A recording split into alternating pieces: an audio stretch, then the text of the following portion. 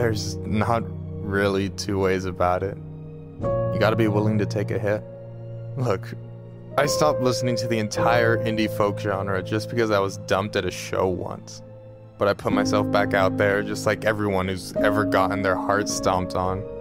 Because when you meet someone who really sees you, you don't have to pretend anymore. No, you didn't. I killed her. And when they come, that's what we're gonna tell them.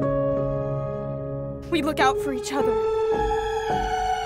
That's what goblins do. Brother, sister, we look out for each other. But um, I'm pretty sure I just gave you a really bad haircut. Ellie, you really gonna go through with this? It's like I told you that that house meant everything to your mama. It's it's all that it's all we got left.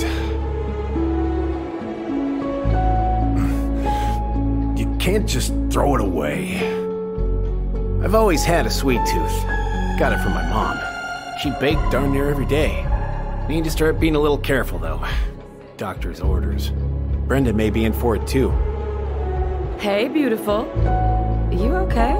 Cause, girl, you look like shit. The winter before your mother's death was hard. Delos Crossing was snowed in for months.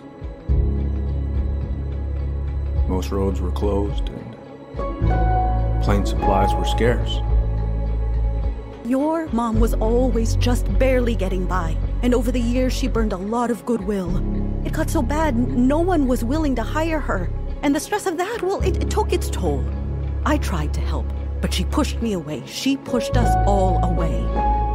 In the end, she isolated herself from everyone. She was alone and out of options. I'm Alex, by the way. Alex Gershwin. No relation.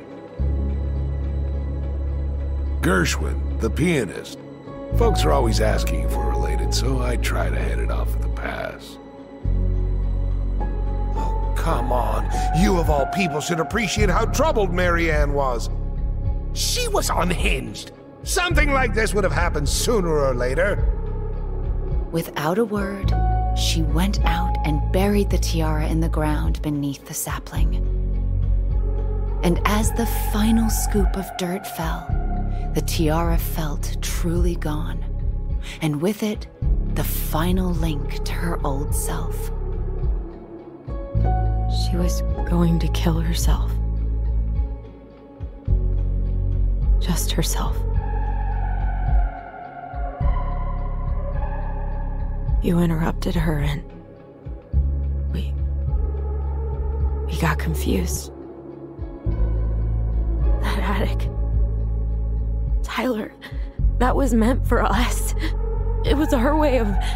of explaining what she was going through. I guess at this point, you just have to decide what you believe. Fuck. I I don't know. And we're never gonna know the truth, are we? Because the second you walk away from something, that's it.